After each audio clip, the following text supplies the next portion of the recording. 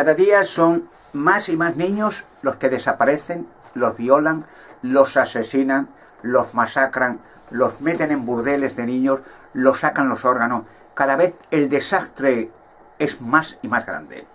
Y cada vez la policía tiene más presión de los de arriba, de religiones, de satanistas, de ocultistas, de banqueros, de callar la boca y no hacer investigación. Cuando es una media general de millones de niños desaparecidos anualmente. Es un gran notición, pero que no verá usted en los medios de comunicación jamás ni mencionar. Está todo controlado. Para que la gente, aunque desaparezcan miles de niños en unos días, como pasó con los inmigrantes en Alemania, no hagan noticias. Miles y miles de niños, todos los niños van, se los llevan y desaparecen. Están haciendo un escarnio diabólico. Es literalmente diabólico. Los demonios les quedan días de vida. Están siendo apresados. Y el desastre que están haciendo es mundial. Es para, en venganza, estos demonios a su creador, que los va a destruir a todos. Es decir, el creador de los ángeles. Siguen siendo ángeles, pero diabólicos, rebeldes. Los va a destruir a todos. Ya están aquí millones de ángeles para destruirlos. Primero encerrarlos en hoyos de esa oscuridad. Esos hoyos que se abren en todo el planeta. Se han abierto miles y miles de hoyos. Ahí van a parar. En Rusia son los más grandes. No olviden esto. Donde más persecución religiosa hay a los testigos de Jehová, los hoyos más grandes, porque los demonios son más gigantescos allí. Hay, en las profecías bíblicas, hay profecías que dicen qué va a pasar con estos culpables, asesinos de niños, satanistas religiosos, estos sectas satánicas, ocultistas, todo este conglomerado de organizaciones a escala mundial, pedófilos degenerados, corruptores menores, asesinos de niños, rituales satánicos, porque todos los lo hacen. O sea, lo han hecho reyes, reinas, religiones, los banqueros lo hacen, rituales satánicos para conseguir poder, riquezas, inmunidad. Dicen las profecías bíblicas que Dios va a ejecutar venganza por lo grande. ¿Y saben dónde va a aparecer la venganza? ¿Dónde va a empezar? En España, con el arca de la alianza. Hay descubrimientos en España que van a empezar a pegar fuerte y a derrumbar organizaciones. Como ellos saben por la profecía, los ángeles pueden viajar al futuro hasta 2019. Y entonces ellos han visto lo que va a suceder pronto, el derrumbe de sus organizaciones.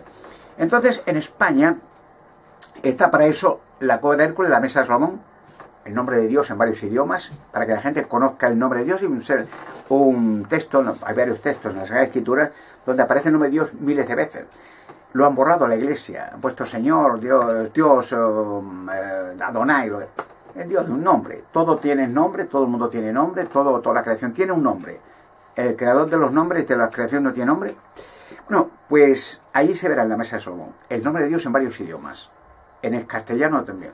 El nombre de Dios Jehová, donde los judíos protegieron la mesa de Salomón en Toledo durante siglos y siglos. Y ya diré, previamente muy cerca está el arca de la alianza. Y el arca de la alianza, que ahora quieren construir el templo, no se la va a llevar nadie, salvo quien yo diga. Pues ahí interesante es que dicen las profecías bíblicas, en el libro, por ejemplo, de Zacarías, capítulo 14, versículos 12 y 13, cómo Dios, ¿qué hará Dios con estos miserables monstruos? Dice que eh, hará Dios posible una locura colectiva. Entonces se volverán locos, todos los responsables, tanto raptores, asesinos, rituales satánicos, sea quien sea, sin límite, se volverán locos. Dios hará que se vuelvan locos, se maten unos a otros.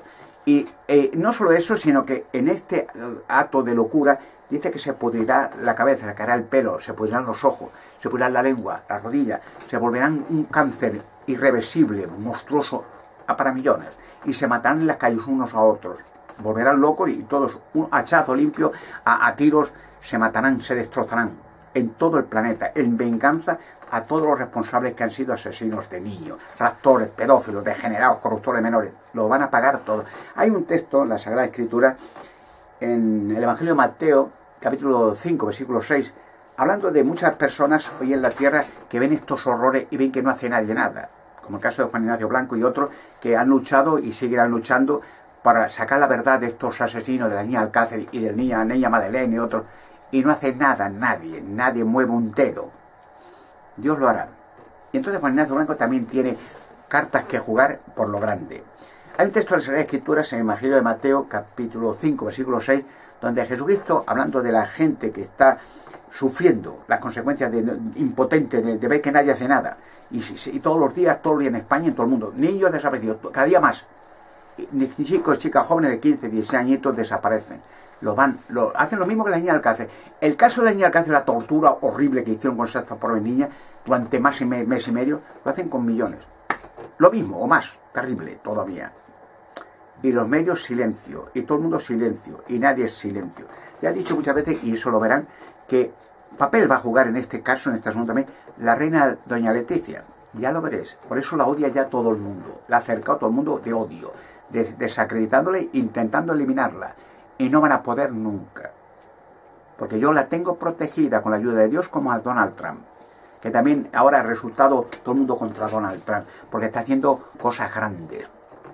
Bueno, pues Jesucristo dice, felices, este texto, Evangelio, Evangelio de Mateo, capítulo 5, versículo 6, de felices son ustedes los que tienen hambre y sed de justicia.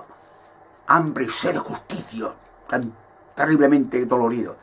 Y dice Jesucristo, porque ustedes que tienen hambre y sed van a ser saciados. O sea, un saciado cuando uno se hincha de comer, se hincha de, de, de, dicho, ya no puede más. Saciado. Cuando vea tanta justicia, dirán al fin, dirán al fin, Dios mío, gracias. Verán que los monstruos se matan unos a otros, sea quien sea, del rey para abajo, del papa o quien sea, da igual. Banqueros, lo quien sea. Dios ahí no mira clases sociales. Monstruos lo van a pagar por lo grande y caro. Eso lo dicen las profecías, la Escritura. Jesucristo, hablando de, del fin caótico, dice, hablando del fin del mundo, no el fin de la humanidad ni el fin de los animales, que no tienen culpa, los pobres están sufriendo por causa de monstruos. Gente que tortura animales, igual, los mata, los tortura niños, los vende, los, los come, pues es diabólico. Pero esto dice, eh, hablando cómo será el caos mundial, dice, porque habrá entonces, Jesucristo dice, una tribulación, o sea, un caos en toda la tierra, como nunca ha sucedido, nunca, ni, ni peor que el diluvio. Dice, y en aquellos días si Dios no los acortara, o sea, no se acabaran los días de horror que habrá, ninguna carne se salvaría, ni un humano. Pero por causa de los escogidos, dice Jesucristo, se salvará, estos escogidos se acortarán los días. O sea, llegará un momento, fin. Mateo capítulo 24 dice eso, Jesucristo en el versículo 21 y 22. Peor que el diluvio de Noé, dice Jesucristo, peor.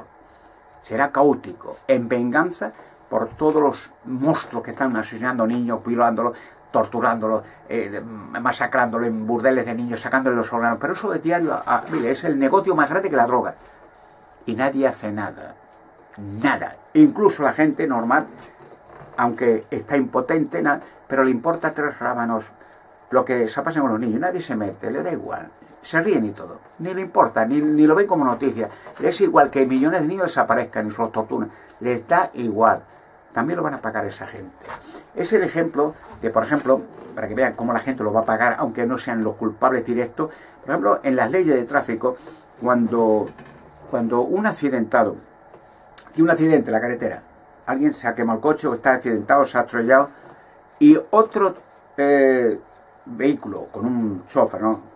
Varios vehículos, ve el accidente y pasa de largo, no para, y la policía lo coge, es culpable. Porque la ley dice que tienes que ayudarle. La ley del tráfico. Tú tienes que parar y ayudarle. O por lo menos llamar a la policía o a unos bomberos o llamar a, una ambulancia. Pero si te da igual y tú pasas y te coge la policía, tú eres culpable. La pagas. Vas a la cárcel. Y eres culpable de ese accidente. Porque tenías que haber ayudado. Entonces las personas que hoy no hacen nada y les das tres porras que a millones de niños y siguen mirando fútbol riéndose con una cerveza en la mano y de cachondeo, la van a pagar. Porque Dios conoce a todo el mundo. Dios, para Dios no es nada escondido, que esté escondido en una cueva o, en un subterráneo, en un búnker, no. Dios lo conoce. Y si esa persona le da risa o, le da igual, lo va a pagar igual. Porque poca esperanza y poco futuro tiene para esa persona. Porque si esa misma persona viera que lo hacen a sus niños, a lo mejor haría algo. Pero si es el niño del vecino, le da tres porras. Son niños pequeñitos y niñas, inocentes, que se está torturando va a haber unos días de terror y de venganza como lo cual no sucedió una, en el principio del mundo. ¿Y sabe quién va a ejecutar mucho? En España, el arca de la alianza. Ahí está preparada. Cuando se acaba el antiguo Israel, el arca hacía que la gente se volviera loca, los enemigos, se mataban unos a otros, delante de los israelitas y los, eh, levitas de los israelitas cantando con el arca puesta. Ahora el arca está ahí preparada. Para ejecutar no solamente monstruos en España, sino en el mundo entero. Y tradicionalmente, yo como un personaje entre muchos muy bien preparado, por la ayuda de Dios, para sacar el arca, sacar la cueva con la mesa de Salomón, sacar los gigantes de rocas que hay en España, las madres de los gigantes, los palos gigantes, el cuerpo de Salomón, cuerpo de Noé y su familia. En España todo en rocas, metidos muy bien en cuevas, muy bien en grutas, muy bien preparadas y ocultas. Y también sacaremos una nave de Salomón para que eh, se vea las viejas de Salomón, se vea la nave, una nave semejante a la de la luna en pequeña escala, cargada de oro, toneladas. Y también saurio dentro de rocas. Eso será, vamos, piramidal, gigantesco. Y esos descubrimientos, ¿qué harán? Aparte de enriquecer a España, claro, pero hundir el sistema mundial todo ese aljaraba de, de, miles de religiones diferentes, chupando de la gente, robando a mano llena y violando niños, asesinando niños, sádicos, pedófilos degenerados, y banqueros, y reyes, y todo, todos caen. Todo van a a raíz de los descubrimientos del arca de la alianza, porque el, arca de la alianza es el mensajero de Dios, el vocero de Dios. Dios, Dios habla con la humanidad por el arca y estará ahí por la eternidad. Por eso se acerca a la tierra una ciudad fantástica, y ahí entrará el arca para que la humanidad sobreviviente que vivirá para siempre por la eternidad pueda tener siempre contacto con Dios y mensajes de Dios, nuevas órdenes, nuevas leyes, para un mundo perfecto donde los monstruos, los asesinos de niños, los demonios, ya no estarán jamás, como si no hubieran existido. Se prepara este día de juicio de Dios, el día de juicio del Dios verdadero. Lo dice en la Sagrada Escritura, un día de, terror, de tiniebla, de monstruo, de terremotos. Se acerca algo grande y el día de venganza de Dios contra estos malvados. Así que tranquilos, guerrilleros, guerrilleras, porque vengo pronto ya como gran monarca. Ya soy casi reconocido, pero tranquilo, se realizará. Y yo como gran monarca en España haré posible que eh, esa haz de, de, persecución contra los pedófilos, asesinos de niños, se extienda por toda la tierra a raíz de España. Ánimo, guerrilleros, guerrilleras, porque el día de Dios está en las puertas, está empezando, ya millones de ángeles están preparados ya están eliminando demonios y luego a sus sociedades. Y no va a escapar ni uno de la tierra ya no salen vivos, ninguno. Ánimo guerrilleros, venga ya por ellos, que son pocos y cobardes.